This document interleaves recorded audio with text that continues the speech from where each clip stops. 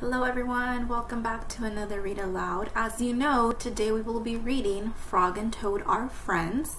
And the problem in this story is that it is springtime and Mr. Toad here does not want to wake up. So let's go ahead and get started to see if Mr. Frog here is able to get him up.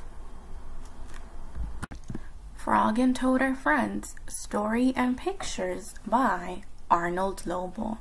Here we have the table of contents. We will be reading the first chapter, and this chapter is called Spring, and it is on page 4. Spring. Frog ran up the path to Toad's house. He knocked on the front door. There was no answer. Toad, Toad, shouted Frog, wake up, it is spring. Blah, said a voice from inside the house.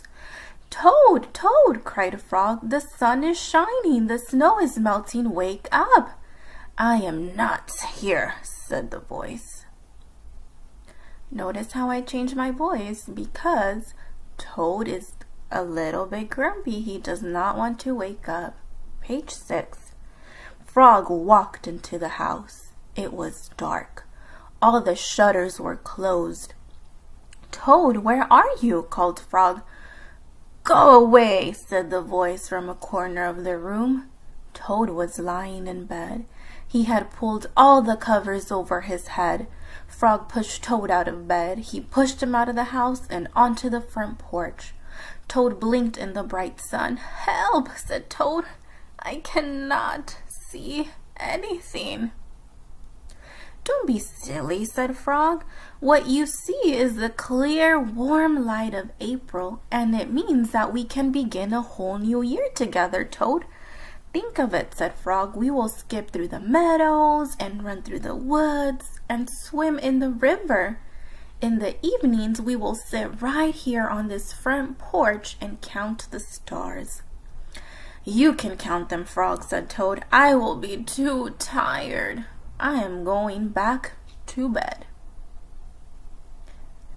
Toad went into the house. He got into the bed and pulled the covers over his head again. But Toad, cried Frog, you will miss all the fun. Listen, Frog, said Toad. How long have I been asleep? You have been asleep since November, said Frog. Well then, said Toad, a little more sleep will not hurt me. Come back again and wake me at about half past May. Good night, Frog. So he still wants to keep sleeping. But Toad, said Frog, I will be lonely until then. Toad did not answer. He had fallen asleep. Frog looked at Toad's calendar. The November page was still on top. Frog tore off the November page. He tore off the December page, and the January page, the February page, and the March page. He came to the April page. Frog tore off the April page too. So then Frog ran back to Toad's bed. Toad, Toad, wake up! It is May now. What? said Toad. Can it be May so soon? Yes, said Frog, look at your calendar. Toad looked at the calendar. The May page was on top. Why, it is May, said Toad as he climbed out of bed. Then he and Frog ran outside to see how the world was looking in the spring.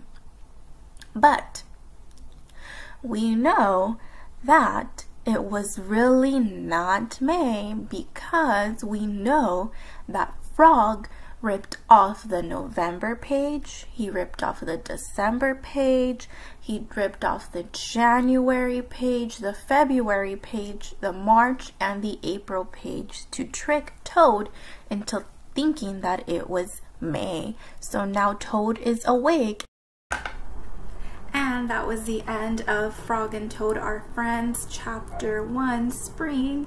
Thank you for listening. I'll see you guys next time. Bye.